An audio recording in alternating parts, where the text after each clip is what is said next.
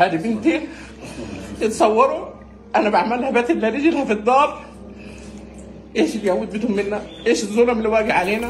അടുക്കളയിൽ ഉപയോഗിക്കുന്ന കത്തി തന്റെ കാലിലെ ഇറച്ചിയെ കീറി മുറിക്കുമ്പോൾ ആ പതിനാറുകാരി വേദന കൊണ്ട് പുളയുകയായിരുന്നു വേദന അറിയാതിരിക്കാനായി അവൾക്ക് അനസ്തേഷ്യ നൽകിയിരുന്നില്ല ആദ്യമൊക്കെ വേദന കടിച്ചമർത്തിയ അവൾ വേദന തിന്ന് മരവിച്ച് തളർന്നു പിന്നീട് അവളിൽ നിന്ന് പുറത്തേക്ക് കേട്ടത് മുരൾച്ച മാത്രമായിരുന്നു ഇസ്രായേൽ ആക്രമണത്തിൽ കാലിന് ഗുരുതര പരിക്കേറ്റ അഹദ് ബെസീസോ എന്ന പതിനാറുകാരിക്ക് അനസ്തേഷ്യ പോലും നൽകാനില്ലാതെ കാൽ മുറിച്ചു മാറ്റേണ്ടി വന്നത് ലോകം വേദനയോടെ കണ്ടതാണ് وين الرحمه؟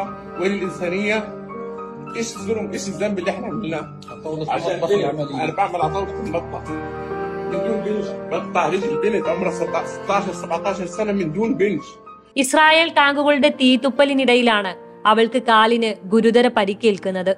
അടിയന്തര ശസ്ത്രക്രിയ വേണ്ടതുണ്ടെങ്കിലും ആശുപത്രിയിലേക്ക് മാറ്റാനോ ആംബുലൻസ് എത്തിക്കാനോ ഇസ്രായേൽ സൈന്യം സമ്മതിച്ചില്ല. ഇതോടെ അഹദിന്റെ അമ്മാവനായ അൽഷിഫ ആശുപത്രിയിലെ orthopaedic surgeon doctor Hani Bessiso ആ കർത്തവ്യം ഏറ്റെടുത്തു. അനന്തരവളുടെ കാൽ അദ്ദേഹം മുറിച്ചു മാറ്റി പുറത്ത് ഇസ്രായേൽ സൈന്യത്തിന്റെ വെടിവെപ്പ് ശബ്ദങ്ങൾക്ക് നടുവിൽ പാതി തകർന്ന കെട്ടിടത്തിൽ നിന്ന് മെഡിക്കൽ ഉപകരണങ്ങളൊന്നുമില്ലാതെ അദ്ദേഹം അനന്തരവളുടെ ജീവനു വേണ്ടി കത്തി കയ്യിലെടുത്തു അടുക്കളയിലെ ടേബിൾ ഓപ്പറേഷനു വേണ്ടി ഒരുക്കി അടുക്കളയിൽ ഉപയോഗിച്ചു വരുന്ന കത്തിയും മറ്റു തുണികളും ഉപയോഗിച്ചു വേദന കൊണ്ട് പിടഞ്ഞു കരയുന്ന അവൾക്ക് ആശ്വാസ വാക്കു മാത്രമാണ് അദ്ദേഹത്തിന് നൽകാനായത് بدنا ننزل عليها الصبر اقسم بالله العظيم الصبر بس من عند ربك اما احنا ما بدنا من حد شيء അവൾ വേദന കൊണ്ട് പിഴയുമ്പോഴെല്ലാം വേദന സംഹാരി നൽകി. നാലാം ദിവസമാണ് ഇസ്രായേൽ ടാങ്കുകൾ പ്രദേശം വിടുന്നതും അഹിദിനെ ആശുപത്രിയിലേക്ക് മാറ്റാൻ സാധിച്ചതും. ഇന്നവൾ സുഖം പ്രാപിച്ചു വരികയാണ്. ഒരു പതിനാറു വയസ്സുകാരിക്ക് താങ്ങാനാവുന്നതിലും വലുതാണ് ആ കുഞ്ഞ് ഇതിനോടകം നേരിട്ടത്. ഒരു കാൽ നഷ്ടമായി. മറ്റേ കാലിന് ഗുരുതര പരിക്കുണ്ട്.